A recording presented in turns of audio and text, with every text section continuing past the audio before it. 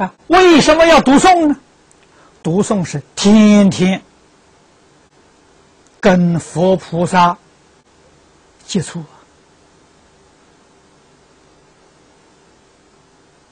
啊，啊像基督教里面讲呢，跟神交通啊。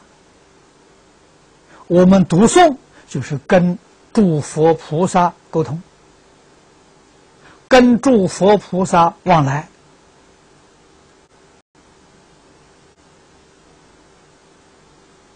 啊，展开经卷，我们眼对着经文，我们的心灵就跟佛菩萨感应道交，时时刻刻不离开佛菩萨，读诵的效果真的达到了。啊，那一般读诵的读读经的人，为什么没有效果呢？有口无心。啊，口里面虽然诵经呢，心里头打妄想。啊，口里有佛，心里没有佛，不起感应道教作用。啊，所以你在日常生活起心动念，依然随顺烦恼习气，造作罪业。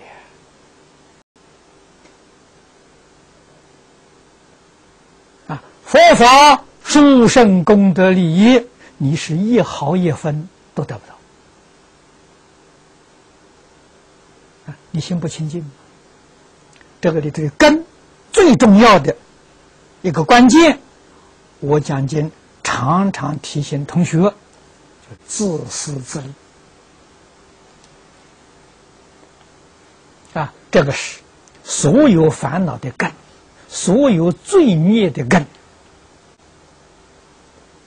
我们要把它拔掉，要向夜神学习，啊，就是把心量脱开，起心动念不要想自己，想众生，想佛法，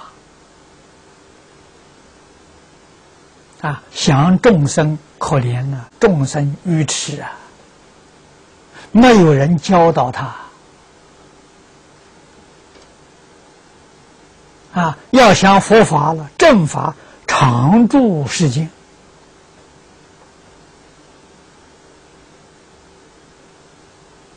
啊，正法常住世间，不是在寺庙，寺庙再多也没用，也不是在经典啊，经典再多也没用，在什在什么呢？真正依教修行的人。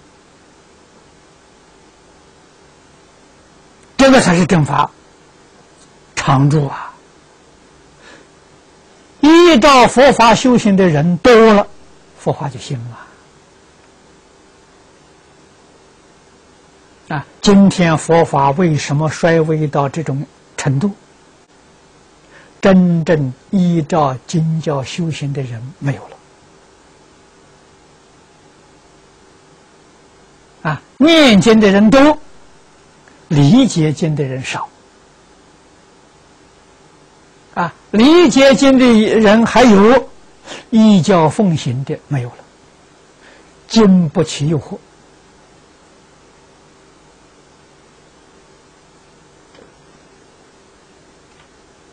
啊，到什么时候五欲六尘摆在你面前，你的心心六根接触它，心里头如如不动。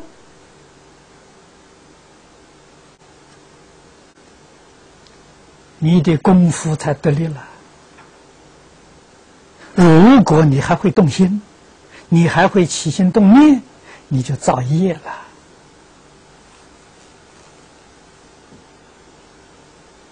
啊，纵然念佛也不能往生。啊，这就是李炳南老居士常讲啊，一万个念佛人，真正能往生一两个而已。啊什么原因呢？古大德讲的好，口念弥陀，心散乱，喊破喉咙也枉然。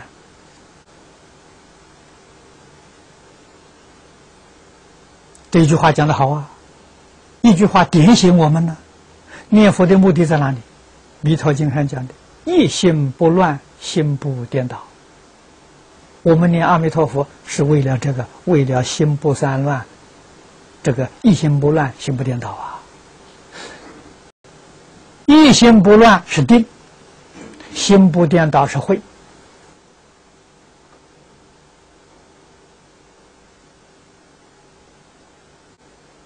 啊。所以这一句名号啊，定慧等学。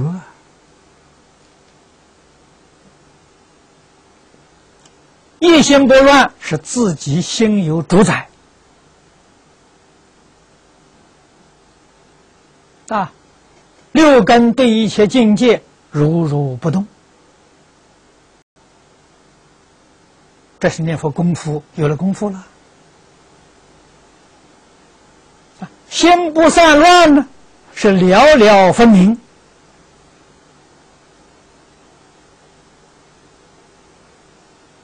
绝不受外面境界的诱惑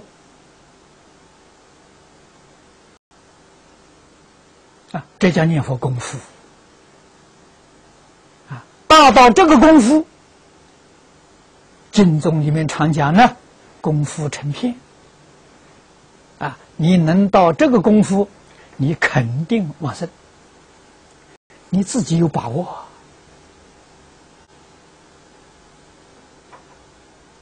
啊，功夫好的人呢，可以自在往生，生死自在呀，想什么时候去就什么时候去。